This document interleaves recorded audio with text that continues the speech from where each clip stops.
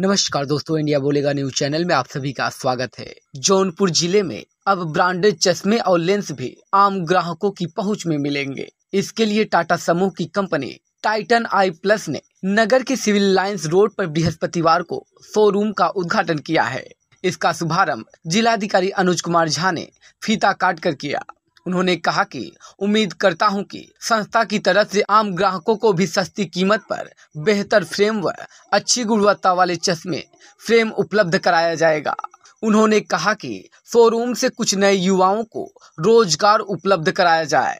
अधिष्ठाता विकेश उपाध्याय व विवेक उपाध्याय ने बताया कि आम ग्राहकों को ब्रांडेड चश्मों की तरफ़ आकर्षित करने के लिए टाइटन प्लस ने ट्रेंड्स नाम का नया कलेक्शन पेश किया है। पिछले तीन चार साल में उपभोक्ताओं की सोच में बदलाव आया है। ग्राहक अब गुणवत्ता को लेकर सजग हैं। इसीलिए कंपनी फ्रेम आयात करती है तो लेंस आयात करने के साथ साथ खुद बनाती भी है।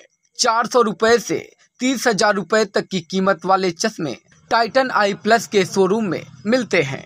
ट्रेंड्स के तहत कंपनी नज़र के चश्मों के बाद अब धूप के चश्मों पर भी ध्यान केंद्रित करने जा रही है।